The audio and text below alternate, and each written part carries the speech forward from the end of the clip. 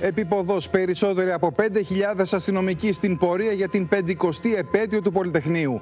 Ελικόπτερα και ντρόνες μεταδίδουν εικόνα στο κέντρο επιχειρήσεων. Κλειστό το κέντρο της Αθήνας, φρούριο η Αμερικανική και η Ισραηλινή πρεσβεία. Τα μηνύματα της πολιτιακής και πολιτικής ηγεσίας. Ζωντανές συνδέσεις.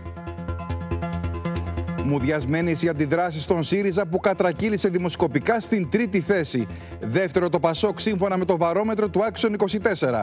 Διψήφια τα ποσοστά του ΚΚΕ. Η Κουμουνδούρου ρίχνει την ευθύνη στην ομπρέλα και ο Κασελάκης βάζει στο 17% των πύχη για τις ευρωεκλογές. Κυριαρχία της Νέας Δημοκρατίας στην πρόθεση ψήφου και του Κυριάκου Μητσοτάκη στην καταλληλότητα για την Πρωθυπουργία. Αποκαλυπτικό ρεπορτάζ για τις κινήσεις της Έφη Αξιόγλου πριν από τις τελικές της αποφάσεις. Για αποστασία θα την κατηγορήσει ο πρόεδρος του ΣΥΡΙΖΑ στην περίπτωση που αποχωρήσει από το κόμμα. Χάνει και την νεολαία ο Στέφανος Κασελάκης. Κατέθεσαν σε διαφορετικά μνημεία Στεφάνη για την επέτειο του Πολυτεχνείου. Η ολιγόρη επίσκεψη Ερντογάν στο Βερολίνο σε αρνητικό κλίμα συνάντηση με τον Όλαφ Σόλτς για την αγορά Eurofighter πιέζει άγκυρα, επιφυλακτική εμφανίζεται η καγκελαρία. Οι εξελίξεις στη Μέση Ανατολή και το μεταναστευτικό στο επίκεντρο των συνομιλιών.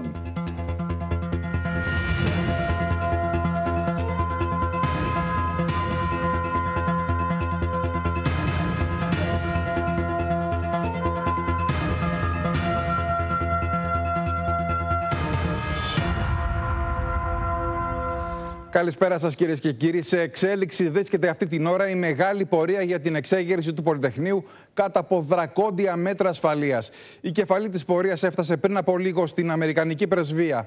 Περισσότεροι από 5.000 αστυνομικοί βρίσκονται επίποδο, ενώ ελικόπτερα και drones περιπολούν από αέρος. Όλα μέχρι στιγμή σκυλούν ομαλά. Μοναδική εξαίρεση οι μικροεντάσεις που προκλήθηκαν στην οδό στα δύο όταν οι διαδηλωτές πέταξαν μπογιές και έσπασαν βιτρίνες. Στην πολιτική επικαιρότητα πρωταγωνιστούν τα ευρήματα από το βαρόμετρο του Άξιον 24, τα οποία έφεραν στη δεύτερη θέση το Πασόκ και στην τρίτη τον ΣΥΡΙΖΑ. Ενώ η Νέα Δημοκρατία κυριαρχεί στην πρόθεση ψήφου και ο Κυριάκος Μητσοτάκης στην καταλληλότητα για την Πρωθυπουργία. Θα τα δούμε όλα αναλυτικά με τους ρεπόρτερ του Άξιον 24. Θα δούμε την Ήρα Ορχάνη, τον Ραφαήλ Κάμπερ και το Θανάση Μαριόλα που παρακολουθούν την πορεία του Πολυτεχνείου. Στη Θεσσαλονίκη βρίσκεται η Ανδρονίκη Ζαφυρίου. Βλέπουμε και τον Αντώνη Γκιόκα, ο οποίος έχει αποκαλυπτικό ρεπορτάζ για τις επόμενες κινήσεις της Έφη Αξιόγλου. Να ξεκινήσουμε όμως από τις ζωντανές μας συνδέσεις και πάμε πρώτα στην Ήρα Ορχάνη, ε, που βρίσκεται στην κεφαλή της πορείας, η οποία έχει φτάσει στην Αμερικανική πρεσβεία, που έχει μετατραπεί σε φρούριο.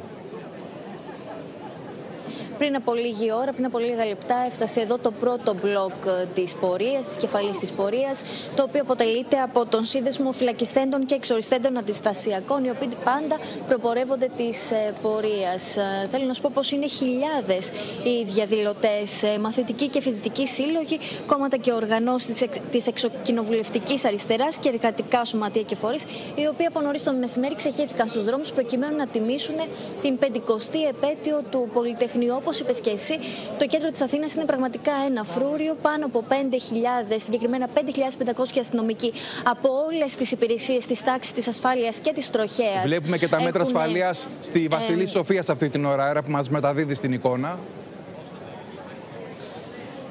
Από τους 5.500 αστυνομικούς, οι 1.300 ανήκουν σε 64 δημιουργίες των ΜΑΤ, οι οποίοι έχουν διατεθεί για την σημερινή ημέρα. Την ίδια ώρα, ντρόουν και ελικόπτερο της ελληνικής αστυνομίας δίνει ζωντανή εικόνα στο κέντρο επιχειρήσεων της Γενικής Αστυνομικής Διεύθυνσης Αττικής, προκειμένου και εκείνοι να κατευθύνουν αναλόγως τις πήγε δυνάμεις. Ήρα, θα, θα έρθουμε σε σένα και στη συνέχεια του δελτίου μας για να πάμε στο Ραφαήλ Κάμπερ, που παρακολουθεί και αυτός την πορεία, για να μας πεις, Ραφαήλ, αρχικά σε ποιο σημείο βρίσκεσαι αυτή την ώρα.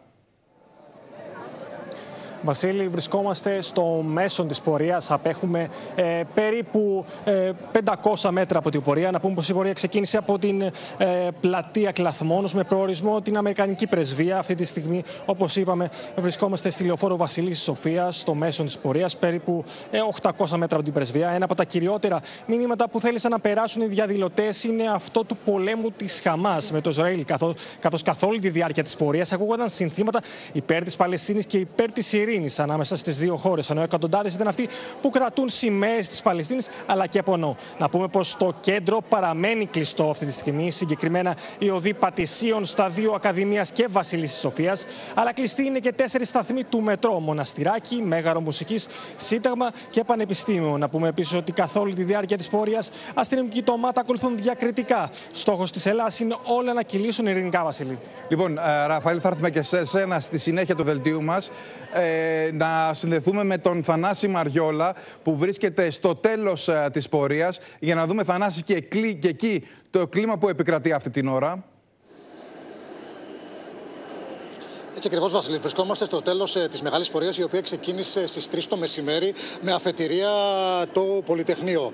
Α, να σου πω ότι με εντολή της Ελλάδα ε, έχουμε τέσσερις ε, σταθμούς του μετρό, το Μοναστηράκι, το, το Μέγαρο Μουσικής, το Σύνταγμα και το Πανεπιστήμιο κλειστούς, ενώ ο προσπέλαστος συνεχίζει να είναι όλο ε, το κέντρο. Κυκλοφοριακές ρυθμίσεις αυτή τη στιγμή ισχύουν περιμετρικά του κέντρου, ενώ κάποιοι δρόμοι, ε, ε, σε κάποιους δρόμους έχει διακοπεί η κυκλοφορία. Βασίλη, τελικές εκτιμήσεις που αυτή, αυτή τη στιγμή έχω λάβει δίνουν ότι αυτή τη στιγμή στην ε, πορεία βρίσκονται πάνω από 20.000 άτομα. Μιλάμε για πραγματικά μια μαζική προσέλευση του κόσμου. Ενώ να σου πω για το τέλος ότι τα, τα μέτρα ασφαλείας είναι δρακόντια. Πάνω από 5.000 αστυνομικοί βρίσκονται εδώ. Οι άνδρες των ΜΑΤ βρίσκονται παντού πραγματικά υπό τον φόβο επεισοδίων και για, την, ε, για τον πόλεμο στην Παλαιστίνη, αλλά και για, το, για τη μη προφυλάκηση του αστυνομικού, ο οποίος εχθές μετά την απολογία του αφέθηκε ελεύθερος για τον θάνατο του 17χρονου Ρωμά στη Βασιλείου. Θανάση, θα σας δούμε και σένα στη συνέχεια του δελτίου μας. Θα συνδεθούμε και με τη Θεσσαλονίκη, κυρίες και κύριοι, και την Ανδρονίκη Ζαφυρίου, διότι η Ανδρονίκη πραγματοποιείται και στη Θεσσαλονίκη πορεία για την 50η επέτειο του Πολυτεχνείου. Ακριβώς Βασίλη, χιλιάδες ε, κόσμος κατέβηκε ε, σήμερα το απόγευμα στο στην Πολυτεχνική Σχολή του Απιθύτα, όπου ήταν και η αφετηρία των σημερινών συγκεντρώσεων, οι οποίες και εξελίχθηκαν σε πορείες. Να πούμε ότι είχαμε τρία καλέσματα σήμερα το απόγευμα στην Πολυτεχνική Σχολή. Ε, πλήθος κόσμου, οικογένειες με παιδιά, ε, άτομα όλων των ηλικιών, φοιτητές, ε, μέλη των εργατικών σωματείων και μέλη της εξοκοινοβουλευτικής αριστεράς, ε, του ΠΑΜΕ αλλά και του ΚΚΕ ε, κατέβηκαν με σημαίες στα χέρια για να διαδηλώσουν ε, για την επέτειο των 50 χρόνων ε, από το Πολυτεχνείο. Να σου πω ότι είναι πολύ ο κόσμος που κρατάει και σημαίες της Παλαιστίνης στα χέρια και διαδηλώνει υπέρ του παλαιστινιακού ε, λαού. Αυτή τη στιγμή βρίσκεται η πορεία ε, σε εξέλιξη. Βρισκόμαστε επί της οδού Τσιμισκή. Νωρίτερα περάσαμε και από την Αμερικανική Πρεσβεία όπου διαδηλωτές έκαψαν δύο σημαίες ε, της Αμερικής και άναψαν και πυρσούς και η πορεία συνεχίζεται όπου και θα επιστρέψουμε μέχρι και την ε, Πολυτεχνική Σχολή Βασίλη. Ανδρονίκη, παραμένεις και εκεί, παρακολουθείς ε, την, ε, την πορεία στη Θεσσαλονίκη. Θα επιστρέψουμε και σε σένα στην πορεία του δελτίου μας εφόσον χρειαστεί. Θα αλλάξουμε τώρα θέμα κυρίες και κύριοι ανατροπή σκηνικού στην πρόθεση ψήφου κατέγραψε το πρώτο βαρόμετρο του Action 24 και της Opinion Poll μετά τη θυελώδη συνεδρίαση της Κεντρικής Επιτροπής του ΣΥΡΙΖΑ. Το Πασόκ πέρασε στη δεύτερη θέση μετά από περίπου μία δεκαετία, με το κόμμα της αξιωματικής αντιπολίτευσης να βρίσκεται πλέον τρίτο. Μουδιασμένες είναι οι πρώτες αντιδράσεις της Κουμουνδούρου που επιρρύπτουν την ευθύνη της δημοσκοπικής πτώσης στο αρνητικό κλίμα που δημιούργησε η εσωκομματική αντιπολίτευση. Ο Στέφανος Κασελάκης έβαλε στο 17% τον πύχη των ευρωεκλογών, ενώ ο Νίκος Ανδρουλάκης εξέφρασε την ικανοποίησή του για το δημοσκοπικό αποτέλεσμα. Κυρίαρχη είναι η Νέα Δημοκρατία και ο Κυριάκος Μητσοτάκης στην καταλληλότητα για την Πρωθυπουργία.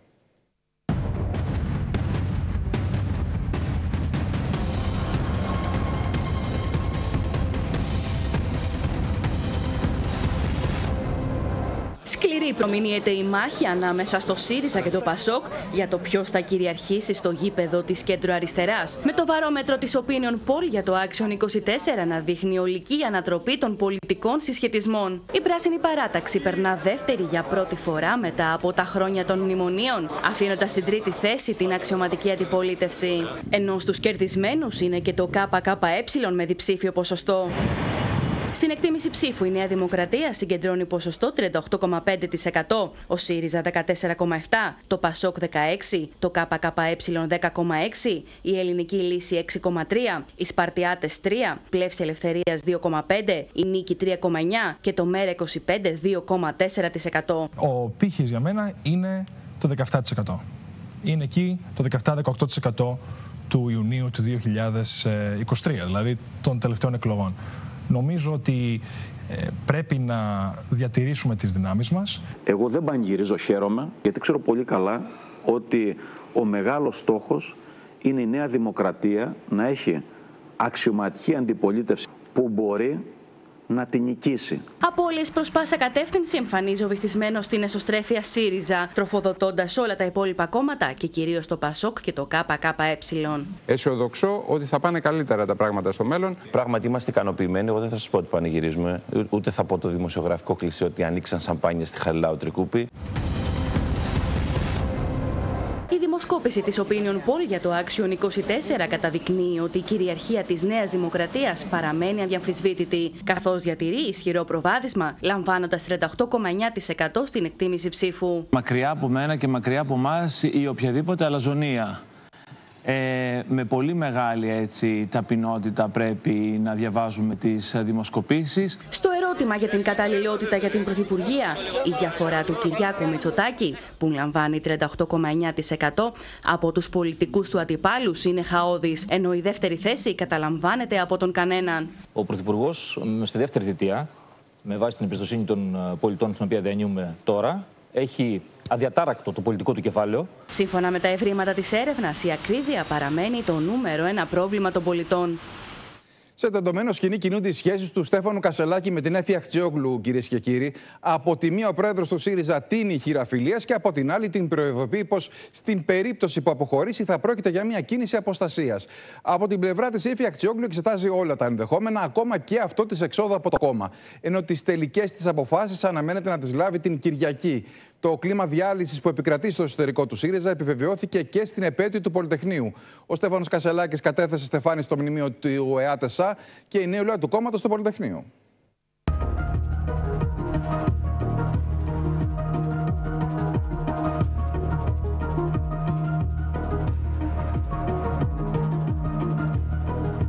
Η ώρα των αποφάσεων για το πολιτικό μέλλον της Έφη Αχτσιόγλου έφτασε. Την Κυριακή θα πραγματοποιηθεί η πανελλαδική συνδιάσκεψη της ομάδας της και θα οριστικοποιηθεί ο χρόνος της εξόδου από την Κουμουνδούρου. Ο Στέφανος Κασελάκης προχώρησε σε μια ακόμα αντιφατική κίνηση, καθώς από τη μία επέμενε πως την χείρα φιλίας προς τα στελέχη που βρίσκονταν κοντά στην πρώην Υπουργό, ενώ λίγα λεπτά αργότερα υποστήριξε πως αν αποχωρήσουν από το ΣΥΡΙΖΑ θα είναι αποστάτες. Δεν μπορώ να φανταστώ ότι 50 χρόνια μετά το, το Πολυτεχνείο ξέρουμε πώ φτάσαμε στη Χούντα δεν μπορώ να φανταστώ ότι 50 χρόνια μετά το Πολυτεχνείο ότι αυτοί οι αξιόλογοι άνθρωποι που γνωρίζουν τους αγώνες του χώρου μας θα γίνουν αποστάτες. Δεν μπορώ να το πιστέψω. Πιστεύω ότι θα μείνουν στο κόμμα. Μετά τις τελευταίες διεργασίες των τελευταίων ωρών και με τις συναντήσεις που είχε ο κύριος Τσίπρας, πρέπει τώρα να γίνει ένα restart σβήνοντας πολλές γωνίες και πολλά πράγματα που δεν έπρεπε να γίνουν. Την ίδια πάντως στιγμή υποστήριξε ότι θέλει στο κόμμα του Σέφε Αχτσιόγλου Αλέξη Χαρίτση και Νάσο Ηλιόπουλο, υποστηρίζοντας ότι πρόκειται για πολύ αξιόλογα στελέχη και θα ήταν τιμή του να παραμείνουν σε αυτό. Πιστεύω ότι πρέπει να μείνουν στο χώρο και ότι μπορούμε να κάνουμε πολλά μαζί. Και στο πολιτικό κέντρο που θέλω να δημιουργήσω από εδώ και πέρα θα έχουν θέση, ισότιμη θέση. Είμαι σε σκέψη. Γιατί σε αυτό το πλαίσιο δεν κρύβω τα λόγια μου καθόλου. Δεν είναι εύκολο να αποχωρήσεις από ένα κόμμα. Ο πρόεδρος του ΣΥΡΙΖΑ παρά τη θύελα που ξεσήκωσαν οι δηλώσεις του για το μαξιλάρι των 37 δις ευρώ επανήλθε στο θέμα, επιχειρώντας με μια λογική ακροβασία να βγάλει τον Αλέξη Τσίπρα από το κάδρο και να χρεώσει εξ ολοκλήρου την πολιτική ευθύνη στον Ευκλήδη Τσακαλώτου. Ο Αλέξης Τσίπρας διαχειρίστηκε μια πολύ μεγάλη κατάσταση. Μην ξεχνάτε ότι κατάφερε ενάντια και στην Τρόικα κατάφερε να αυξήσει το κατώτο μισθό, τον υποκατώτο μισθό, κατάφερε να περάσει ε, τη συμφωνία των Πρεσπών, τότε 18-19, και είχε ένα προκλογικό αγώνα. Ο υπεύθυνος για την υπεραπόδοση των στόχων είναι το κύριος Τσακαλώτο. Η απόσταση που χωρίζει τον Στέφανο Κασελάκη από τα στελέχη που στηρίζουν την Έφη Αχτσιόγλου ήταν εμφανής κατά τις εκδηλώσεις μνήμης της 50η επαιτίου από την εξέγερση του Πολυτεχνείου. Ο πρόεδρος του ΣΥΡΙΖΑ επισκέφθηκε το ΕΑΤΕΣΑ, ενώ η πλειοψηφία της νεολαίας κατέθεσε μέσω του γραμματέου της Κωνσταντίνου Βλαχάκη Στεφάνη στο χώρο της εξέγερσης. Λοιπόν, η Εύη Αξιόγλου αναμένεται να λάβει τις τελικές της αποφάσεις την Κυριακή και πλέον το ενδιαφέρον στρέφεται σε περίπτωση αποχώρησης της από τον ΣΥΡΙΖΑ. Ποιοι θα είναι οι βουλευτές που θα την ακολουθήσουν; Πληροφορίες έχει ο πολιτικός μας συντάξης Αντώνης Γιώκας. Αντώνη. Λοιπόν, φαίνεται, Βασίλη, ότι η κυρία Αξιόγλου και ακόμα έξι βουλευτές βρίσκονται με το ένα πόδι εκτός Κουμουνδούρου. Το πότε ακριβώς θα οριστικοποιηθεί αυτή η έξοδος είναι ίσως η μοναδική εκκρεμότητα που υπάρχει αυτή τη στιγμή. Βέβαια, όλα αυτά τα λέμε με επιφύλαξη, γιατί την Κυριακή θα συνεδριάσει ε, σε πλατιά ολομέλεια, μπορούμε να πούμε, πάρα πολλά στελέχη τα, του ΣΥΡΙΖΑ τα οποία στηρίζουν την πρώην Υπουργό και τα οποία θα είναι εκείνα που θα δώσουν το σήμα στην πραγματικότητα, αν επιθυμούν ή όχι την έξοδο. Να δούμε όμως ποιοι βουλευτές είναι μαζί με την κυρία Αξιόγλου. Ο κύριος Αλέξης Χαρίτσης, ο κύριος Νάσος Ηλιόπουλος. Είναι οι δύο πιο στενοί τη συνεργάτες. Η κυρία Σία Αναγνωστοπούλου και η κυρία Θεανό Φωτίου. Βέβαια, οφείλουμε να πούμε ότι οι δύο κυρίες ε, είναι αυτές που θα μπορούσαμε να πούμε ότι δυσκολεύονται περισσότερο, κυρίως συναισθηματικά, για την έξοδο από τον ΣΥΡΙΖΑ. Ο κύριος Δημήτρης Τζανακόπουλος και η κυρία Μερόπη Τζούφη. Αυτές είναι οι, αυτοί είναι οι βουλευτές, οι έξι που μαζί με την κυρία Χτσιόγλου, 7 φαίνεται ότι οδεύουν εκτός κόμματος. Βέβαια, υπάρχει και κόσμος που ταλαντεύεται μέσα στην κοινοβουλευτική ομάδα του ΣΥΡΙΖΑ. Είναι για παράδειγμα ο κύριος Γιώργος Ψυχογιός και ο κύριος Κώστας Μπάρκας. Ο κύριος Κώστας Μπάρκας φαίνεται ότι είναι πιο κοντά στο να μείνει στον ΣΥΡΙΖΑ σε αντίθεση με τον κύριο Ψυχογιό, που οι πληροφορίες αναφέρουν ότι είναι πιο κοντά στην έξοδο από την Κουμουνδούρα. Πάντως, Αντώνη, αυτό που, που αναζητά νομίζω η Έφη Ακτιόγλου είναι το μαγικό αριθμό 10. Διότι με 10 βουλευτές μπορεί να συγκροτηθεί η κοινοβουλευτική ομάδα. Που σημαίνει ότι μπορεί να έχει όλα τα προνόμια ενός κόμματος μέσα στο κοινοβούλιο. Δηλαδή, μπορεί ο επικεφαλής να μιλήσει στην Ολομέλεια, ε, όχι σαν ανεξάρτητος βουλευτής, αλλά σαν επικεφαλής κόμματος. Θα έχει το κόμμα γραφεία κανονικά στη Βουλή, θα έχει χωροταξικά στην Ολομέλεια τη δική του θέση, θα έχει όλα τα προνόμια δηλαδή ένας κανονικού κόμματος, αν επαναλαμβάνω, έχει το μαγικό αριθμό των 10 βουλευτών. Είπαμε, έξι, έξι βουλευτές της κυρίας Αξιόγλου και μία ιδέα 7. Δύο ήδη έχουν αποχωρήσει ο κύριος Τσακαλώτος και η κυρία Πέρκα. Υπάρχουν αρκετοί μες στο κόμμα που ταλαντεύονται ακόμα ακόμα μπορούμε να πούμε, Βασίλη, και πρόσωπα τα οποία βρίσκονται κοντά στην ηγεσία και εμφανίζονται απογοητευμένα από τις εξελίξεις. Αντώνη, σε ευχαριστώ πολύ. Και θα καλησπερίσω σε αυτό το σημείο, κυρίες και κύριοι, τον Σεραφείμ Κοντρότσο, διότι χθες ε, είχαμε μια δημοσκόπηση ανατροπών εδώ στο Action 24. Καλησπέρα, Σεραφείμ. Και η είδηση νομίζω είναι ότι ο ΣΥΡΙΖΑ είναι στην τρίτη θέση. Το Πασόκ είναι στην δεύτερη θέση, δημοσκοπικά τουλάχιστον, με βάση την σφιγμομέτρηση της της Opinion Poll. Και θέλω να σε ρωτήσω πόσο μπορεί αυτή η εξέλιξη να επηρεάσει τις εξελίξεις στο εσωτερικό του ΣΥΡΙΖΑ και πόσο μάλλον εν ώψη και των αποφάσεων της κυρίας Αχτσιόγλου, προφανώς αυτή την Κυριακή. Λοιπόν, η δημοσκόπηση της Opinion Poll Βασίλη για το Action 24 φαίνεται, αυτή είναι η εικόνα που έχω, ότι δημιουργεί τάση. Δηλαδή, αναμένονται μετρήσεις το, τις επόμενες ημέρες που πιθανότατα θα δείξουν ότι η Opinion Poll κατέγραψε πρώτη μία τάση η οποία έχει αρχίσει να διαμορφώνεται από ό,τι φαίνεται το τελευταίο χρονικό διάστημα. Μετά από 11,5 χρόνια το ΠΑΣΟΚ έρχεται δεύτερο κόμμα σε δημοσκοπήσεις και μετά αντιστοίχως από τόσα χρόνια, 11,5-12 χρόνια, δεν είναι δεύτερο κόμμα ο ΣΥΡΙΖΑ ή πρώτο σε ορισμένες πριν το 2016 που ανέλαβε βεβαίως την ηγεσία ο Κυριάκος Μητσοτάκης. Αυτό εκ των πραγμάτων αλλάζει τα πολιτικά δεδομένα, αλλάζει τους πολιτικούς συσχετισμούς. Ξεκινάει τώρα ένα παιχνίδι επίρρηψης ευθυνών στο ΣΥΡΙΖΑ, ένα blame game όπως το λέμε. Ο μεν, η μεν πλευρά Κασελάκη λέει ότι είναι η εσωστρέφεια και η αμφισβήτηση από τους διαφωνούντες που προκαλεί αυτήν την εικόνα και αποτυπώνεται ε, στις δημοσιογραφίες. Διότι οι απαντήσεις των, των πολιτών ήταν πάρα πολύ κοντά, λίγες ώρες μετά στην ουσία ξεκίνησε αυτή η έρευνα, από τη συνεδρίαση, την καυτή συνεδρίαση της Κεντρικής Επιτροπής. Ακριβώς. Η άλλη πλευρά, η πλευρά Αχτσιόγλου των διαφωνούντων, παραδείγματος χάρη, λένε ότι ο κύριος Κασελάκης με το που εξελέγει είχε υποσχεθεί ότι θα παραγάγει μια πολιτική δυναμική. Όλοι έλεγαν ότι θα νικήσει το Μητσοτάκι, το έλεγε και ο ίδιος. Ναι. Και αντί να συμβεί, αντί να υπάρξει αυτή η παραγωγή πολιτικής δυναμικής, εμφανίζεται στις μετρήσεις τρίτο κόμμα, ο ΣΥΡΙΖΑ. Αυτό είναι το ένα στοιχείο. Το δεύτερο στοιχείο το οποίο εντείνει τον ανταγωνισμό είναι ότι έρχεται ο κύριος Κασελάκης χθες στη συνέντευξή του στον Αντένα και στον Νίκο Χατζανικολάου να βάλει τον πύχη στο 17-18%. Δηλαδή στο ποσοστό που είχε συρρυκνωμένος, σιτημένος ο ΣΥΡΙΖΑ με τον Αλέξη Τσίπρα τον Ιούνιο πριν από μερικούς μήνες. Α, λέγοντας ουσιαστικά ότι η εκλογή του δεν παρήγαγε κανένα αποτέλεσμα μέχρι τώρα και ότι πάλι ο πύχης θα μπει εκεί που ήταν. Αυτό είχε ενοχλήσει πολλούς. Και υπάρχει και ένα τρίτο στοιχείο που εντείνει τον ανταγωνισμό.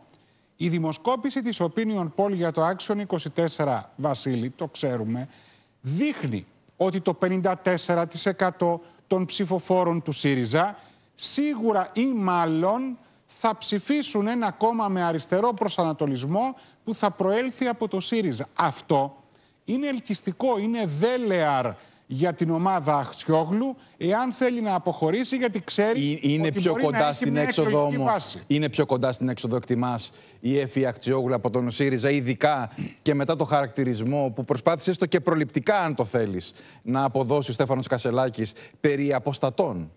Αυτό είναι ακατανόητο πάντως που έκανε χθες ο πρόεδρος του ΣΥΡΙΖΑ. Ε, οι διαρροές από την, μετά τη συνάντησή του με τον Αλέξη Τσίπρα από την πλευρά του πρώην Πρωθυπουργού ήταν ότι έγινε μια, δόθηκαν κάποιες συμβουλές και μάλλον συμφώνησε ο κύριος Κασελάκης για, ένα, για κάποιες κινήσεις συμπερίληψης, δηλαδή ότι θα αποδεχτεί και τη λειτουργία των οργάνων και την συμμετοχή όλων των απόψεων που υπάρχουν στο ΣΥΡΙΖΑ. Και έρχεται και κάνει αυτό το βήμα μισό. Δηλαδή λέει ναι πολιτικό κέντρο, ναι θα μπουν όλοι μέσα και αμέσως μετά στην επόμενη φράση τους αποκαλεί αποστάτες εάν φύγουν. Θα μπορούσε να τους Αν αποκαλέσει γίνει οργανωμένη αποστάτες. αποχώρηση βουλευτών, είπε ο κύριος Θα Κασελάκης. μπορούσε να τους αποκαλέσει αποστάτες όταν και αν συνέβαινε κάτι τέτοιο. Μήπως το έκανε προληπτικά; Μα δεν έχει κανένα νόημα, δεν βγάζει νόημα. Ναι, είναι σαν να τους σαν- λέει... σαν φράση λέμε αν το είναι έκανε σαν- προληπτικά. Ναι, είναι σαν να τους λέει ότι ή θα μπείτε ή αλλιώς θα είστε ακριβώς, αποστάτες. ακριβώς. Άρα εντείνει το διχασμό στην βάση. Υπό την έννοια αυτή, εγώ θα διαφωνήσω μόνο σε κάτι, μάλλον δεν είναι θέμα διαφωνίας, είπε ο Αντώνης για αυτούς που θα φύγουν. Εγώ εκτιμώ ότι οι Έφη Αξιόγλου δεν θα φύγουν από το ΣΥΡΙΖΑ εάν δεν έχουν αυτό που είπες εσύ συγκροτημένη κοινοβουλευτική ομάδα 10 βουλευτών και ή δυνατόν χωρίς τον Τζακαλώτο και την Μπέρκα. Αυτοί μπορεί να προσθεθούν σε δεύτερο χρόνο. Γιατί αλλιώς δεν έχει νόημα. Παι- Παίζει ρόλο και το ποιος θα έχει και την, ε, Βεβαίως. και, και την εξουσία μέσα στο νέο Έτσι, κόμμα. γιατί Γι' αυτό, δεν γι' έχει αυτό νόημα, ενδεχομένως και το αλλιώς αναφέρεις. δεν θα μπορούν να Σεραφείμ, εκφραστούν στη Βουλή. Σε ευχαριστώ πολύ, Σεραφείμ, για το σχόλιο σου. Περνάμε τώρα στον πόλεμο στη Μέση Ανατολή, κυρίες και κύριοι. Υπόγεια σύραγγα κάτω από το νοσοκομείο Αλσίφα εντόπισαν οι δυνάμεις του Ισραήλ, ενώ ένα φορτηγάκι γεμάτο όπλα των τρομοκρατών βρέθηκε λίγα μέτρα μακριά από το τούνελ. Την ίδια ώρα το άψυχο σώμα μιας Ισραηλινής ομήρου εντοπίστηκε έξω από το κτίριο κοντά στο Αλσίφα, με τον Μπέντζαμιν Νετανιάχου να παραδέχεται πως δεν έχει καταφέρει να μειώσει τις απώλειες του αμάχου. Με τις ΗΠΑ την ίδια ώρα να πιέζουν το Ισραήλ για την προστασία των αθώων. Την ίδια ώρα η ένταση κλιμακώνεται και στη Δυτική Όχθη.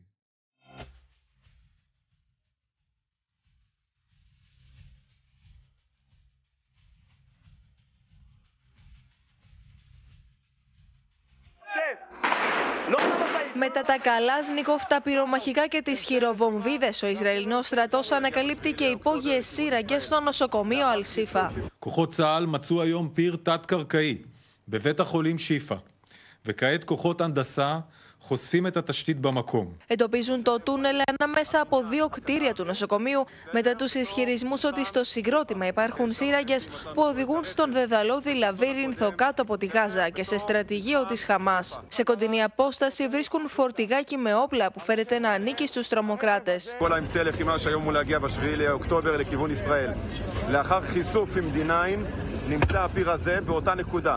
Τόσο η Χαμάς όσο και οι γιατροί του Αλσίφα αρνούνται όσα παρουσιάζουν οι Ισραηλινοί. They have found nothing. They have found no single resistance, no single gunshot uh,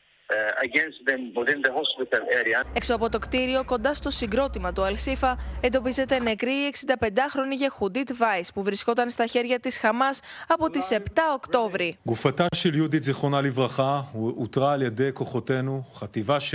Φίλοι και συγγενείς συντετριμένοι αποχαιρέτησαν την Νόα Μαρσιάνο, Τη 19χρονη στρατιώτη που κρατούσε όμοιρο η Χαμάς και το άψυχο σώμα της βρέθηκε κοντά στο Αλσίφα. Την ίδια ώρα και ενώ ακατάπαυστες μάχες μένονται σε ολόκληρη τη λωρίδα της Γάζας, ο Μπέντζαμιν Νετανιάχου χαρακτηρίζει τον θάνατο των αμάχων τραγωδία. Any civilian death is a tragedy. And we shouldn't have any because we're doing everything we can to get the civilians out of harm's way while Hamas is doing everything to keep them in harm's way. Προχωρά στην παραδοχή ότι οι δυνάμεις του Ισραήλ δεν έχουν καταφέρει να ελαχιστοποιήσουν τις απώλειες αθώων, ενώ οι Ηνωμένες Πολιτείες καλούν ξανά το Ισραήλ να προστατεύσει τους αμάχους. Αδιάκοπες επιχειρήσεις των Ισραηλινών μένονται στον Παλαιστινιακό θύλακα. Ο στρατός λέει ότι κατέλαβε οχυρό της Ισλαμικής Τζιχάντ, στο οποίο βρέθηκαν δεκάδες όπλα και ρουκέτες των τρομοκρατών. Η ένταση κλιμακώνεται και στη δυτική όχθη. Φωνική επιδρομή των Ισραηλινών με ντρόουν στη Τζενίν ανάγκασε γιατρούς, ασθενείς και νοσηλευτικό προσωπικό να εγκαταλείψουν με τα χέρια ψηλά νοσοκομείο της πόλης. Οι Ισραηλινές δυνάμεις επιτέθηκαν και σε συνεργείο του τουρκικού δικτύου TRT, σπάζοντάς τους την κάμερα. Ο Αντώνι Μπλίνκεν καλεί το Ισραήλ να λάβει επιγόντως μέτρα για την αποκλιμάκωση της κατάστασης στη Δυτική Όχθη. Λοιπόν, σύνδεση με την Ουάσιγκτον, κυρίες και κύριοι, και τον ανταποκριτή μας, τον Μιχάλη Ιγνατίου. Διότι, Μιχάλη, καλησπέρα. Ε, έχουμε ένα ανατολίτικο παζάρι, το οποίο το συνεχίζει, βλέπουμε, ο Ερντογάν. Διότι λίγες ώρες πριν μεταβεί στο Βερολίνο, αποφάσισε ξαφνικά, αυτό μάθαμε, να παγώσει στο Κοινοβούλιο τη διαδικασία ένταξης της Σουηδίας στο ΝΑΤΟ. Κάτι το οποίο οι Ηνωμένες Πολιτείες νομίζω πως είχαν δεδομένο πώ θα συμβεί. Τους το είχε υποσχεθεί άλλωστε, ώστε στην πορεία να μπορούν να γίνουν και επίσημες ανακοινώσεις από τις δύο πλευρές. Ναι, Βασίλη, καλησπέρα. Ε, όπως λέω πάντα για τους σχεδιαστές της Αμερικανικής εξωτερικής πολιτικής παραμένουν μονίμως σε άρνηση στα θέματα που αφορούν την Τουρκία. Έτσι, πάλι έμειναν άφωνοι όταν έφτασαν στην Ουάσιγκτον τα νέα από την Τουρκία για το θέμα της μη επικύρωσης από την ε, Άγκυρα της ένταξης της Σουηδίας στο ΝΑΤΟ. Ούτε και χθες λοιπόν έδωσαν τη συνένεσή τους ε, για τη Σουηδική είσοδο στη Δυτική Συμμαχία δεν ξέρουμε τι γίνεται. Παίζουν το γνωστό βρώμικο παιχνίδι εναντίον των Αμερικανών και γενικά της Δύσης. Ε, Βεβαίως στην Ουάσιγκτο δεν ακούνε, δεν βλέπουν. Κάθε μέρα νομίζουν πως είναι Κυριακή. Mm. Ήταν ευθυνδιασμό η χθεσινή απόφαση για αναβολή της συζήτησης στην Επιτροπή Εξωτερικών Υποθέσεων της τουρκικής εθνοσυέλευσης. Αυτό είναι σίγουρο, Βασίλη. Ήταν ευθυνδιασμό. Δεν έπρεπε όμως να ευθυνδιαστούν ε, και δυστυχώς μετά από 20 και πλέον χρόνια δεν έχουν μάθει να διαβάζουν τον Ταγί Περτογάν. Θα τους εκβιάζει μέχρι την τελευταία στιγμή. Πιστεύω ότι αν δεν είναι βέβαιος 100% ότι θα αγοράσει τα αμερικανικά μαχητικά, τα F-16, δεν θα δώσει τη συγκατάθεσή τους στη Σουηδία. Οι Αμερικανοί ήταν βέβαιοι ότι θα προχωρούσαν όλα ομαλά και ότι στις 28 Νοεμβρίου, κατά τη συνάντηση των Υπουργών Εξωτερικών των χωρών μελών του ΝΑΤΟ, θα γινόταν η επίσημη ανακοίνωση. Γιατί ήταν βέβαιοι, διαρρέουν ότι ο Υπουργός Εξωτερικών της Τουρκίας, ο Φιτάν, διαβεβαίωσε τον Άντωνι Μπλίνκεν ότι η απόφαση για την Σουηδία έχει ληφθεί. Η χθεσινή εξέλιξη όμως έχει εκθέσει τον κύριο Μπλίνκεν, Προφανώς. ο οποίος όμως επιμένει να θέλει να δώσει τα αμερικανικά μαχητικά στον Ερτογάν. Ε, παθαίνει, αλλά δεν μαθαίνει ο Αμερικανός Υπουργός. Οι Τούρκοι τον κοροϊδεύουν μπροστά στα μάτια του. Οι διπλωματικέ πηγές στην Ουάσιγκτον αναμένουν τηλεφωνική συνομιλία των δύο υπουργών, δηλαδή τον κύριο Μπλίνκε και τον κύριο Φιντάν, και εύχονται ότι ο Τούρκος Υπουργός θα δώσει μια καλή εξήγηση στον Αμερικανό ομόλογό του. Οι σχέσεις δεν είναι καλές, Βασίλη, μεταξύ της Ουάσιγκτον και της Άγκυρας. Εάν η Τουρκία δεν σοβαρευτεί, ούτε ο κύριος Μπλίνκε θα μπορεί να τη σώσει, ούτε αυτός ο πρόεδρος Μπάιντεν. Στο Κογκρέσο και ειδικά οι νομοθέτες που έχουν σχέση με το εβραϊκό λόμπι απαιτούν τιμωρία της Τουρκίας λόγω της Χαμάς, βεβαίως. Υπό αυτές τις συνθήκες, η μόνη επιλογή του Ερτογάν είναι να, δώσει τη συγκατάθεσή του στην ένταξη της Σουηδίας στο ΝΑΤΟ. Αν δεν συμφωνήσει, θα έχουμε εξελίξεις που δεν μπορούμε τώρα να προβλέψουμε. Πάντως, και κλείνω, ανώτερο αξιωματούχος του State Department δήλωσε υποκαθεστώ ανωνυμίας ότι η Τουρκία ενδιαφέρεται δήθεν ε, πολύ να καταθέσει το έγγραφο επικύρωσης για την ένταξη της Σουηδίας στο ΝΑΤΟ κατά τη διάρκεια της συνάντησης των Υπουργών Εξωτερικών σε δύο εβδομάδες. Να δούμε τι θα γίνει, γιατί η πλευρά της Τουρκίας λέει ότι δεν ήταν όριμες συνθήκες για να περάσει αυτό το νομοσχέδιο από την Τουρκική Βουλή. Μιχάλη, σε ευχαριστώ πολύ για τις πληροφορίες σου. Τώρα, κυρίες και κύριοι, ένα συγκλονιστικό βίντεο δημοσίευσε η Βρετανική εφημερίδα Guardian, στο οποίο αποκαλύπτεται το μέγεθος της καταστροφής στην πόλη της Γάζας πριν αλλά και μετά τις Ισραηλινές επιδρομές. Μαζί μου είναι η Βάσο Μητρομάρα για να μας περιγράψεις, Βάσο, αυτό το σοκαριστικό βίντεο. Πράγματι, Βασίλη, είναι το συγκεκριμένο βίντεο το οποίο βλέπουμε αυτή τη στιγμή, το οποίο αποτυπώνει επί της ουσίας το μέγεθος της καταστροφής στη Γάζα, ενώ φυσικά συνεχίζεται το Ισραηλινό σφυροκόπημα. Στο βίντεο λοιπόν βλέπουμε πώς ήταν η περιοχή πριν τις 7 Οκτωβρίου και πώς είναι σήμερα. Μία εικόνα που θυμίζει πραγματικά μόνο θάνατο, Βασίλη. Όπως μπορούμε να δούμε, πολυσύχνε στη δρόμοι στο κέντρο της Γάζας έχουν ερημώσει εντελώς, όπως και οι πολυκατοικίες, σπίτια, καταστήματα, αλλά και ολόκληρες γειτονιές έχουν μετατραπεί σε ρήπια. Οι δρόμοι είναι γεμάτοι μπάζα, όπως βλέπουμε από τη δεξιά πλευρά, και αυτό που κυριαρχεί είναι κυρίως το απέραντο γκρίζο. Οι εικόνες είναι πραγματικά αποκαρδιωτικές, καθώς εκατοντάδες άνθρωποι έχουν βρει υποστεί τραγικό θάνατο κάτω από αυτά τα ερήπια που βλέπουμε. Γεγονός το οποίο φυσικά Βασίλη προκαλεί μόνο ανίποτη θλίψη. Βάσο, σε ευχαριστώ πολύ για αυτές τις ε, πραγματικά σοκαριστικές εικόνες από την περιοχή της Γάζας. Σύνδεση τώρα και με την Κωνσταντινούπολη, κυρίες και κύριοι, και τον ανταποκριτή μας Νίκο Νανούρη.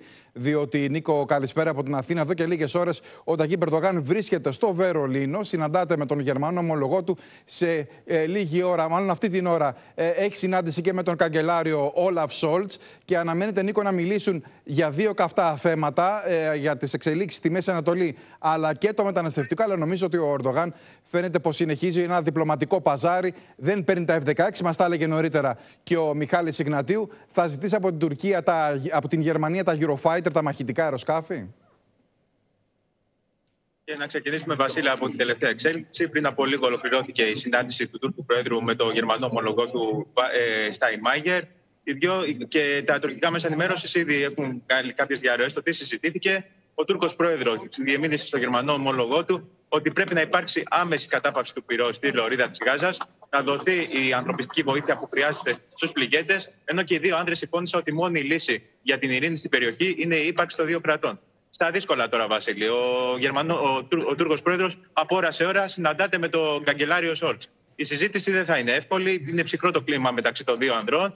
Ε, κεντρικό θέμα είναι εννοείται ο πόλεμος στη Λωρίδα της Γάζας και το θέμα της Χαμάς. Είναι το αγκάθι ανάμεσα στις δύο πλευρές. Ο δυτικός κόσμος θεωρεί ότι η Χαμάς είναι δημοκρατική οργάνωση. Ο Τούρκος πρόεδρος έχει μια άλλη άποψη ότι είναι ένα απελευθερωτικό κίνημα. Ωστόσο, στην εξίσωση αυτής της συζήτησης έχουν μπει και τα μαχητικά Eurofighter. Το αποκάλυψε χθες και ο Υπουργός Άμυνας Γιασάρ Κιουλέρ ότι η Τουρκία επιθυμεί τα 40 μαχητικά Eurofighter από τη Γερμανία. Ε, Παρ' όλα αυτά, η Γερμανία ε, προς το παρόν λέει όχι, ενώ το Ηνωμένο Βασίλειο ε, και η Ισπανία είναι θετικές. Αναμένεται ένα σκληρό παζάρι. Η Γερμανία δεν έχει πιστεί ακόμα ότι πρέπει να δώσει το πράσινο φως λόγω και της τάσης της Τουρκίας στο Μεσανατολικό. Το μόνο σίγουρο ε, με αυτόν τον τρόπο ο Νίκο πιέζει τις ΗΠΑ ο Ορντογάν. Διότι λέει δεν μου δίνεις τα F-16, ζητάω και από αλλού μαχητικά αεροσκάφη ψάχνει έναν τρόπο στην ουσία ο Τούρκος Πρόεδρος να ισοσκελίσει τη μία αγορά των F-16 από τις Ηνωμένες Πολιτείες. Πάντως, Βασίλη, μετά τη συνέντευξη τύπου που θα επαναλαμβάνεται σε λίγη ώρα ανάμεσα στον καγκελάριο Σόρτς και τον Τούρκο Πρόεδρο, θα γίνουμε σοφότεροι για το τι τελικά συζητήθηκε για το τι κλίμα Νίκο, Νίκο, σε ευχαριστώ πολύ για τις πληροφορίες. Τώρα, κυρίες και κύριοι, θα επιστρέψουμε στην πορεία για την 50η επέτειο του Πολυτεχνείου και θα πάμε στους ρεπόρτερ του Action 24 που βρίσκονται σε όλα τα σημεία στο κέντρο της Αθήνας. Να ξεκινήσουμε από την Ήρα Ορχάνη. Ε, Ήρα, πες μας πού ακριβώς βρίσκει αυτή την ώρα και ποιο είναι το κλίμα που επικρατεί. Εδώ λοιπόν ε, μπροστά από την Αμερικανική πρεσβεία έχει φτάσει και το κύριο μπλοκ ε, της πορείας, οι οποίοι αυτή τη στιγμή φωνάζουν ε, συνθήματα κατά της Αμερικής και υπέρ της Παλαιστίνης. Είπαμε εξάλλου ότι αυτή η πορεία είχε έντονα συνθήματα για τον πόλεμο της Μέσης Ανατολής. Να σας πω πως παραμένουν πολύ αυστηρά τα μέτρα της ελληνικής αστυνομίας. Έχουν παραταχθεί εδώ πέρα οι δημιουργίες των ΜΑΤ. Κλούβες έχουν εμποδίσει την πρόσβαση των διαδηλωτών στην Αμερικανική πρεσβεία ενώ α, μέχρι στιγμής από προληπτικούς ελέγχους που έχουν γίνει για να αποφευθούν τυχόν επεισόδια έχουν ε, γίνει 20 προσαγωγές από την αστυνομία με τους προσαχθέντες αυτή την ώρα να βρίσκονται στην Γενική Αστυνομική Διεύθυνση Αττικής για. Ε, για αναγνώριση στοιχείων. Άρα λοιπόν Ήρα, η πορεία είναι αυτή την ώρα στην πρεσβεία των Ηνωμένων Πολιτειών. Θα επιστρέψουμε σε σένα αν χρειαστείς στην πορεία του δελτίου μας. Πάμε και στο Ραφαήλ Κάμπερ για να δούμε και εσύ, Ραφαήλ, πού βρίσκεσαι αυτή την ώρα στο κέντρο της Αθήνας. Παρακολουθείς, ακολουθείς την πορεία. Βασίλειο, ο κόσμος είναι πάρα πολύ. Βρισκόμαστε στο κέντρο της πορείας και απέχουμε ακόμη 500 μέτρα από την Αμερικανική ε, πρεσβεία. Ενώ η κεφαλή της πορείας έχει φτάσει εδώ και τουλάχιστον 30 λεπτά στην πρεσβεία. Οι διαδηλωτές δεν έχουν σταματήσει να φωνάζουν δυνατά συνθήματα. Τα κυριότερα είναι αυτά υπέρ της ειρήνης στη Γάζα, υπέρ της δημοκρατίας, αλλά και η δικαιοσύνη για το θάνατο του 17χρονου στη Βιωτία. Ε, μέχρι στιγμής δεν έχουν δημιουργηθεί εντάσει. Η πορεία είναι, είναι ειρηνική. Να πούμε επίσης ότι καθ' όλη τη διάρκεια της πορείας αστυνομικοί τόμα ακολουθούν διακριτικά. Στόχος της Ελλάδα είναι όλα να κυλήσουν ομαλά και έτσι φαίνεται μέχρι τώρα, Βασίλη. Άρα λοιπόν, Ραφαήλ, κινούνται όλα ομαλά αυτή την ώρα στην, στην πορεία προς την Αμερικανική πρεσβεία. Πάμε και στο Θανάση Μαριόλα. Ε, και εσύ, Θανάση, να δούμε πού ακριβώς βρίσκεσαι και το κλίμα που επικρατεί εκεί. Βασίλη, και εμείς είμαστε εδώ στο κέντρο της πόλης. Συνεχίζουμε και πορευόμαστε μαζί με τη μεγάλη πορεία, η οποία ξεκίνησε στις 3 το μεσημέρι για την εξέγερση του Πολυτεχνείου, για την 50η επέτειο. Να σου πω ότι στην πορεία αυτή συμμετέχουν μαθητικοί και φοιτητικοί σύλλογοι, διάφορες συλλογικότητες, διάφορα σωματεία, αλλά και απλός κόσμος, ο οποίος ήρθε να διαδηλώσει ειρηνικά προς το παρόν. Οπότε ήρθαν εδώ, φωνάζουν συνθήματα, ε, τα οποία συνθήματα αναφέρονται βέβαια και στα τραγικά συμβάντα του Πολυτεχνείου, ε, αλλά και στον ε, πόλεμο στη Μέση Ανατολή, αλλά και στο περιστατικό, στο τραγικό περιστατικό με τη δολοφονία του 17χρονου Ρωμά. Ε, Όπως σου είπα, ε, υπάρχει πάρα πολλοί κόσμος, είναι μαζική η προσέλευση. Προς το παρόν δεν έχουμε κάποια επεισόδια, εκτός από τις προσαγωγές τις οποίες έκανε η Ελλάδα για προληπτικούς ε, λόγους. Ε, ενώ η αστυνομική παρουσία είναι εντονότατη, οι άνδρες των ΜΑΤ βρίσκονται παντού για να επιτηρούν την κατάσταση. Λοιπόν, Θανάση, ε, παραμένεις και εσύ εκεί, ακολουθείς ε, την, ε, την πορεία ε, προς την Αμερικανική Πρεσβεία. Ήδη η κεφαλή της έχει φτάσει στην Αμερικανική Πρεσβεία εδώ και σχεδόν μισή ώρα. Νωρίτερα, κυρίες και κύριοι, άνθρωποι όλων των ηλικιών, ακόμα και μικρά παιδιά, μπήκαν στο προάβλιο του Πολυτεχνείου προκειμένου να αφήσουν ένα λουλούδι στη μνήμη των ανθρώπων που αντιστάθηκαν και πολέμησαν για τη δημοκρατία. Ενώ το δικό τους μήνυμα έστειλε η πολιτική και πολιτιακή ηγεσία της χώρας.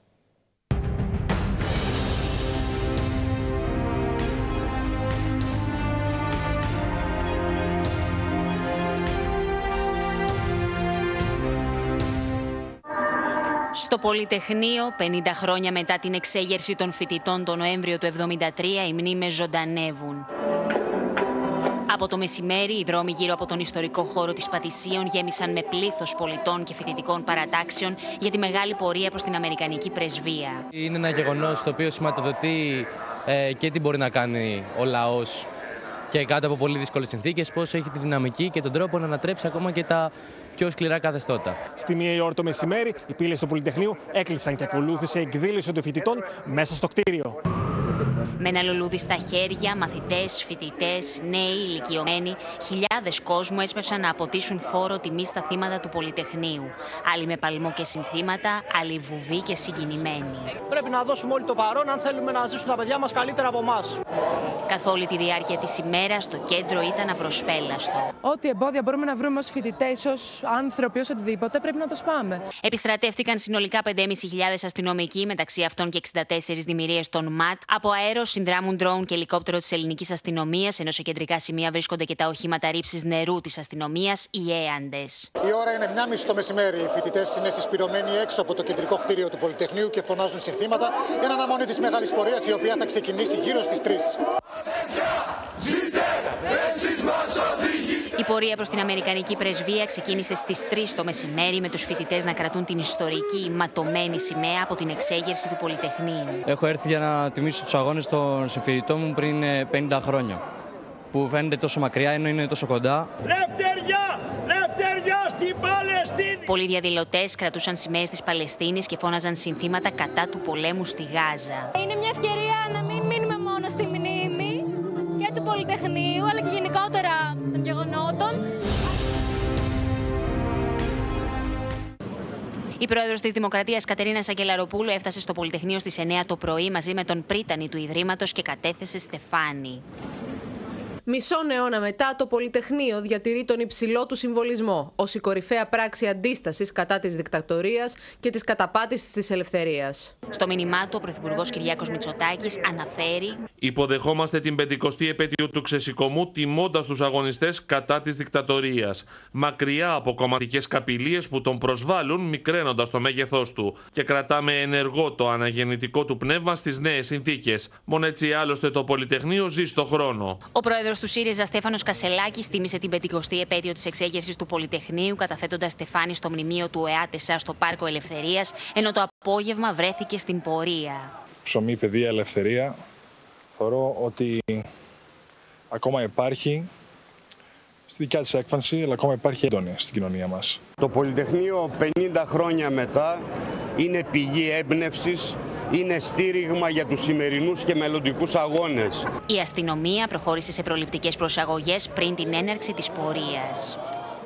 Αλλάζουμε θέμα, κυρίες και κύριοι. Στην ΚΕΑ κατάφερε να κινητοποιήσει το λιμενικό μετά από περιπετειώδη καταδίωξη. Μία θαλαμιγό που είχε αποβιβάσει παράτυπου μετανάστες στο Πόρτο Ράφτη.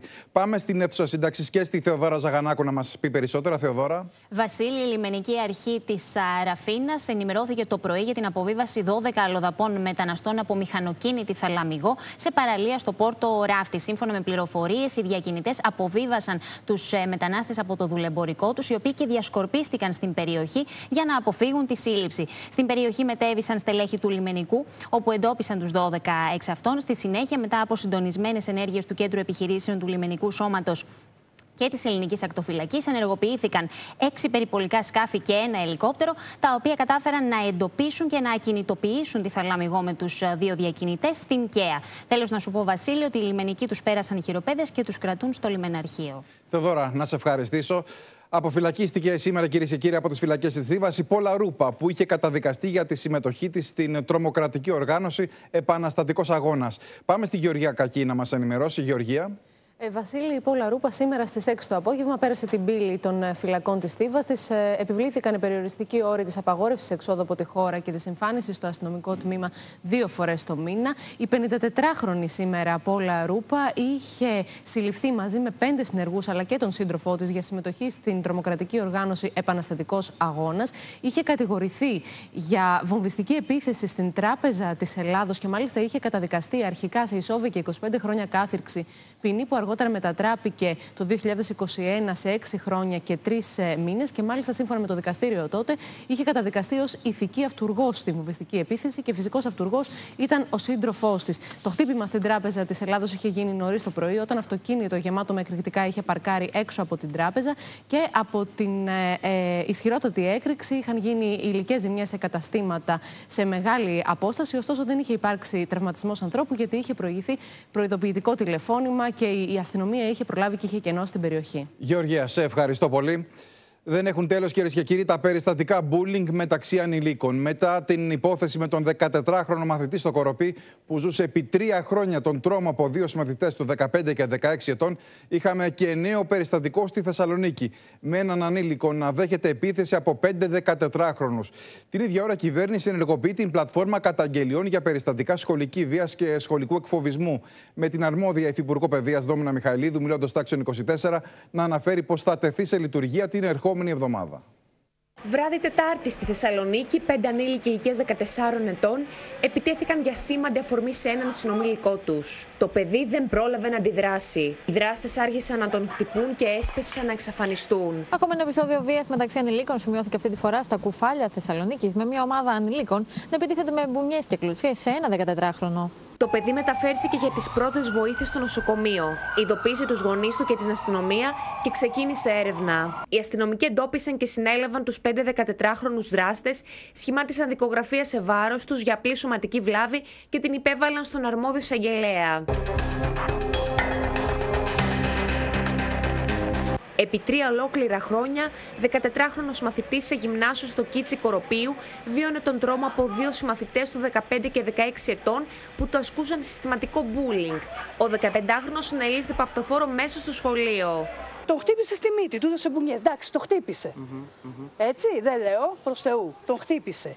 Και μιλάει πάρα πολύ άσχημα αυτό το παιδί λογικό είναι να βρεις και το παιδί το δικό μου. Οι δύο φερόμενοι δράστες εκφόβιζαν, απειλούσαν, έβριζαν και χτυπούσαν τον 15χρονο τόσο μέσα στους χώρους του σχολείου όσο και έξω από αυτό. Μάλιστα, η μητέρα του 14χρονου υποστηρίζει ότι ο ένας εκ των δύο ανηλίκων του έκλεβε τα χρήματα. Από πέρσι είχαμε θέμα γιατί του έκλεβε τα χρήματα, το οποίο είχε αναφερθεί μαζί με μάρτυρες ε, στην πρώην διευθύντρια του σχολείου, η οποία με παρότρινε να μην το τραβήξουμε και να μην πάω κακώς από πέρσι στην αστυνομία. Την Τρίτη το μεσημέρι σημειώθηκε ακόμη ένα περιστατικό εκφοβισμού. Κατά τη διάρκεια ενός διαλύματο μεταξύ της 4η και 5η ώρας, ο 15χρονο φέρεται να έβρισε για ακόμη μία φορά τον 14χρονο συμμαθητή του. Οι αρχές τότε εντόπισαν τον ανήλικο μαθητή και προχώρησαν στη σύλληψή του. Σαφώς σε όλα τα σχολεία υπάρχουν προβληματικές συμπεριφορές. Όμως δεν είχαμε ξανακούσει ποτέ τέτοιο παρόμοιο περιστατικό και γι' αυτό πιστεύω ότι μπορεί να μεγαλοποιείται λίγο παραπάνω. Οι αρχές προχώρησαν στη σύλληψη και του 16χρονου από την Αλβανία, τον οποίο και ανέκριναν σχετικά με τα καταγγελόμενα. Και το παιδάκι που συλλήφθηκε χτες δεν είναι θύμα. Για τους δύο ανήλικους σχηματίστηκε δικογραφία για επικίνδυνη σωματική βλάβη, απειλή και εξύβριση κατά εξακολούθηση και κατά συναυτουργία. Η Υφυπουργός Παιδείας Δόμνα Μιχαηλίδου, μιλώντας στο Action 24, ανέφερε ότι η πλατφόρμα καταγγελιών για περιστατικά σχολικής βίας και σχολικού εκφοβισμού θα τεθεί σε λειτουργία την ερχόμενη εβδομάδα και δεν θα περιλαμβάνει μόνο τη δυνατότητα της επώνυμης καταγγελίας περιστατικών βίας και εκφοβισμού, αλλά και υποστηρικτικό υλικό για γονείς, μαθητές και εκπαιδευτικούς. Η πλατφόρμα αυτή είναι δυτή. Δηλαδή είναι μια πλατφόρμα η οποία είναι πλατφόρμα αναφορών, έτσι ώστε όταν ένας μαθητής ή ένας γονιός, ειδικά αν το παιδί είναι παιδί ηλικίας δημοτικού, ξέρει ότι κάτι έχει γίνει που θέλει να διερευνηθεί. Μέσα στην πλατφόρμα όμως υπάρχει και υποστηρικτικό υλικό, έτσι ώστε τόσο τα παιδιά όσο και οι γονείς τους να μπορούν να το κατεβάζουν, να ενημερώνονται. Σύμφωνα με έρευνα του χαμόγελου του παιδιού, ένας στα τρία παιδιά έχει δεχθεί εκφοβισμό στο σχολείο. Αλλάζουμε θέμα κυρίες και κύριοι και θα πάμε ξανά στο μέτωπο του πολέμου. Εικόνες φρίκη στα νοσοκομεία της Γάζας, όπου εκατοντάδες τραυματίες έχουν κατακλείσει τις κλινικές. Στο Ινδονησιακό νοσοκομείο η κατάσταση είναι εφιαλτική. Μικρά, μικρά παιδιά τραυματισμένα εξετάζονται ακόμα και στο πάτωμα, αφού τα κρεβάτια είναι γεμάτα με ασθενείς. Την ίδια ώρα, ο Παγκόσμιος Οργανισμός Υγείας κουρεί τον κόδωνα του κινδύνου για τη Γάζα, προειδοποιώντας για μια τεράστια υγειονομική βόμβα, καθώς θερίζουν και οι ασθένειες. Θα θέλαμε να σας ενημερώσουμε πως ακολουθούν πολύ σκληρές εικόνες. Γροθιά στο στομάχι είναι οι κραυγές και τα κλάματα ενός μικρού κοριτσιού, το οποίο εξετάζεται στο πάτωμα μέσα σε μια λίμνη αίματος στη λωρίδα της Γάζας. Λίγα μέτρα πιο δίπλα, ένα άλλο παιδί καλυμμένο σε όλο του το σώμα με γάζες από τα σχεδόν καθολικά εγκάβματα, χαρακτηριστική εικόνα της φρίκης που επικρατεί στην εμπόλεμη ζώνη. Μια φρίκη πρωτόγνωρη για τα παιδικά βλέμματα. وانا تحت الحجاب والناس تحت الحجاب والايدين مقطعه والرجلين مقطعه ومش عارف اجانا جراي وانا ماشي اللي انا شو اسمه حسيت دبات هيك في راسي بدق بسرعه ورميت على ور- وقعت على الارض Οι εικόνε από το Ινδονησιακό νοσοκομείο στην πόλη Μπέιτ Λαχία τη Γάζα προκαλούν σοκ. Δεκάδες άνθρωποι, οι περισσότεροι με σοβαρούς τραυματισμούς, κοίτονται στο πάτωμα, ελλείψει κρεβατιών, κόντρα σε κάθε υγειονομικό κανονισμό και λογική. Όμως η σκληρή πραγματικότητα στον Παλαιστινιακό θύλακα απαιτεί αντισυμβατικές λύσεις σε μια ύστατη προσπάθεια να σωθούν ανθρώπινες ζωές. هذول ما همش بريين يا عمي هذول اطفال بريين يحتاج بيستهدف اطفال ما بيستهدفش رجلك بتلاقي مصاب هان مصاب وهان مصاب فيش اسرة فيش امكانيات تيجي بتعالج المصاب بتلاقي حالك مخبط على مصاب تاني يا رب من عندك صبر Μια γυναίκα κλαίει γοερά για του αγαπημένου τη που χάθηκαν για πάντα μετά τι σαρωτικέ αεροπορικέ επιχειρήσει του Ισραήλ στη Γάζα, ακόμα και στι νότιε περιοχέ τη όπω η Χάν Ιουνί. Μεταξύ του και βρέφη, τα οποία οι γονείς κρατούν στην αγκαλιά τους για το στερνό αντίο. Εκτός από τον κίνδυνο ενός ξαφνικού θανάτου από τις βόμβες και τα βλήματα, υπάρχει και εκείνος των ασθενειών που εξαπλώνονται ραγδαία στη Γάζα, η οποία μετατρέπεται σε μια τεράστια υγειονομική βόμβα are extremely concerned as well about the spread of diseases. Παράλληλα, οι κάτοικοι της πολύπαθης Παλαιστινιακής περιοχής έρχονται καθημερινά αντιμέτωποι και με τις τρομακτικές ελλείψεις σε τρόφιμα. Το ψωμί μετατρέπεται σε είδος προς εξαφάνιση, μετά και από Ισραηλινό χτύπημα σε μία από τις μεγαλύτερες αποθήκες σιτηρών. Ένα τμήμα των κατοίκων τρέφεται πλέον μόνο με κρεμμύδια και ομές μελιτζάνε, σύμφωνα με ανθρωπιστική υπηρεσία του ΟΗΕ. Καθώς τα περίπου 2,5 εκατομμύρια Παλαιστίνοι βλέπουν να σκεπάζει τη λωρίδα της Γάζας, εκτός από τις βόμβες και το θάνατο, τώρα και το τέρας ενός διαφαινόμενου λοιμού. Αλλάζουμε θέμα, αλλάζουμε και κλίμα, κυρίες και κύριοι. Σε αποκαλύψεις για τη σχέση της με τον Εμμανουέλ Μακρόν, προχώρησε η πρώτη κυρία της Γαλλίας. Η Μπριζίτ Μακρόν εξομολογήθηκε πως δίσταζε για μία δεκαετία να παντρευτεί τον πρόεδρο της Γαλλίας λόγω της ηλικίας του. Την ίδια ώρα, ένα οπρόοπτο συνέβη κατά τη διάρκεια της επίσκεψης του Αυστριακού Πρόεδρου στη Μολδαβία, όταν τον δάγκωσε ο σκύλος της Μολδαβής ομολόγου του. Όσο στο περιοδικό Paris Match, η πρώτη κυρία της Γαλλίας, Μπριζίτ Μακρόν, η οποία μίλησε για τους ενδιασμούς που είχε προκειμένου να επισημοποιήσει το δεσμό της με τον κατά 25 χρόνια μικρότερό της Εμμανουέλ. Μια αντισυμβατική ιστορία αγάπης που ξεκίνησε σε μια σχολική αίθουσα και βάλε στόχο το μέγαρο των ηλισίων.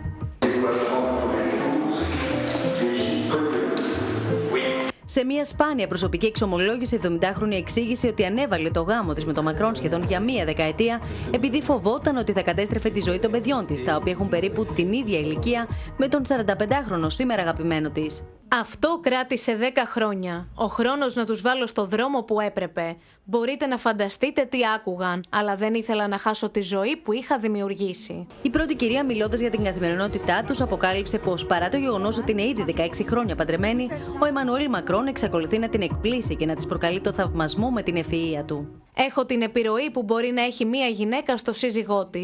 Όταν νιώθω ότι είναι διαθέσιμο, κάνω ερωτήσει και του λέω τη γνώμη μου. Είμαστε ένα κανονικό ζευγάρι. qui est adorable avec sa femme. Donc, euh, si je, je vis ce que je vis euh, comme je le vis, c'est parce qu'il est comme ça. Euh, ce serait beaucoup plus compliqué s'il n'était pas l'homme qu'il était.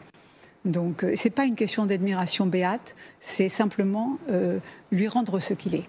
Η ηλικία ποτέ δεν στάθηκε πρόβλημα για το αγαπημένο ζευγάρι και ο ένας στηρίζει τον άλλον στα εύκολα και στα δύσκολα. Moi, si je devais donner une vision de l'amour, c'est Emmanuel et ma maman, c'est une évidence. Ένα απρόοπτο σημάδεψε την επίσκεψη του Προέδρου της Αυστρίας Αλεξάνδρ Φάντερ Μπέλεν στη Μολδαβία. Οι δύο ηγέτες, ενώ απολάμβαναν ένα περίπατο στον κήπο της Προεδρικής Κατοικίας στο Κισινάου, ο Αυστριακός Πρόεδρος επιχείρησε να χαϊδέψει το σκύλο της Μολδαβής Προέδρου που κρατούσε ένας άντρας της ασφάλειας. Ο σκύλος όμως αντέδρασε με αποτέλεσμα να δαγκώσει το χέρι του υψηλού προσκεκλημένου. Η Μολδαβή Πρόεδρος Μάγια Σάντου ζήτησε συγγνώμη από τον Αυστριακό ομολογό της για το ατυχές περιστατικό, εκτιμώντας πως ο σκύλος είχε τρομάξει από την παρουσία ξένων προσώπων. Επισοδιακή προσγείωση είχε μια πτήση της Air Canada στο αεροδρόμιο Πέρσον του Τορόντο στον Καναδά, καθώς οι ελώδε πλευρικοί άνεμοι χτυπούσαν το τεράστιο αεροσκάφος.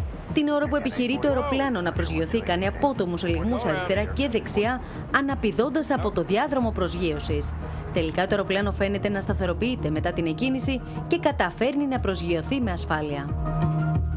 Και σε αυτό το σημείο το δελτίο μας ολοκληρώθηκε. Ακολουθεί αθλητική επικαιρότητα με τον Βασίλη Πλακογιάννη και στη συνέχεια η πρόγνωση του καιρού με τον Δημήτρη Παπαϊωάννου. Αμέσως μετά η επόμενη μέρα με τον Σεραφείμ Κοτρότσο και την Ανδριάνα Ζαρακέλη. Στις 9 Μίτσι Βάρ με τον Γιώργο Μιτσικώστα και στις 10 εκπομπή πίσω από τις γραμμές με τους Γιώργο Πιέρο, Ελένη Καλογεροπούλου και Δημήτρη Τάκη. Από όλους εμάς ευχές για ένα άμορφο βράδυ.